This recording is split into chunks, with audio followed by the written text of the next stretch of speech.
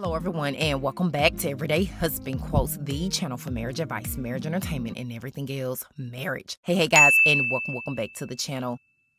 Ciao. Ooh, wait, the tea just got piping hot. So, honey, I was in the comment section of a Love and Marriage Huntsville preview clip here on YouTube, and I saw someone write down from season 8, episode 1, the brother looks like, damn, she's still stuck on this man, referring to Melody still talking about the whole Martell and Melody storyline, which brings me to these comments about Melody getting paid for her pain. Now, it's no secret that Melody's castmates are coming for the millimeters this season. I look at it this way the millimeters are like Beyonce's BeyHive, honey. They all have a purpose and they serve it well. And so you can't hate the lady for connecting with a group of women and some men who can relate to her. I've read so many comments where people are ready to get off of the whole Martell and Melody's conversation with one comment reading, I don't care what y'all say, the whole storyline is tiresome. Move on to something else. And then someone else commented by raise of hand who is tired of Melody and Martell.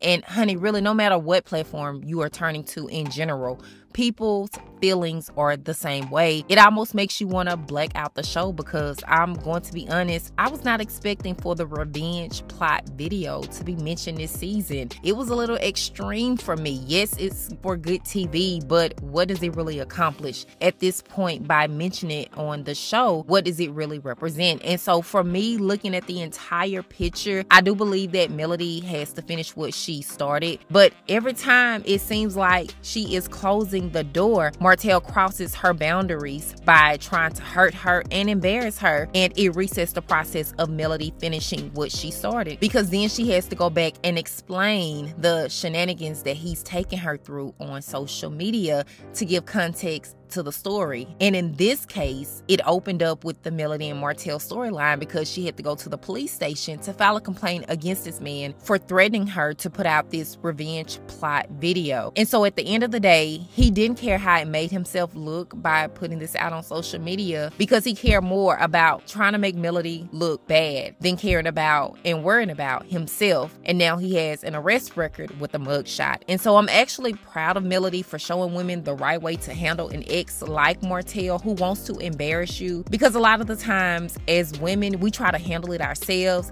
We try to hide it. We think that we can do more by just not saying anything. And then we also try not to get law enforcement involved. Someone wrote, It's sickening, especially that women who said Melody shouldn't have called the cops on Martell. What was Melody supposed to do? Continue to allow Martell to threaten her with revenge plot? Just because a man has kids with a woman and he's a black man doesn't mean he should get a pass. My friend went through this and lost her life in front of her kids, and their dad did it. Y'all gotta stop that BS. And yes, we never thought he would do that, but he did. So, y'all, before I wrap up this video, you know, how much longer will we have to sit through another Melody and Martell storyline? That really is the biggest question. And I'm just gonna answer it like this. We'll sit here for however long it takes. Point blank in the period. So those are my thoughts. Leave yours in the comment section of this video. As always, thank you guys for watching. I really appreciate it. And I will talk to you guys in the next video.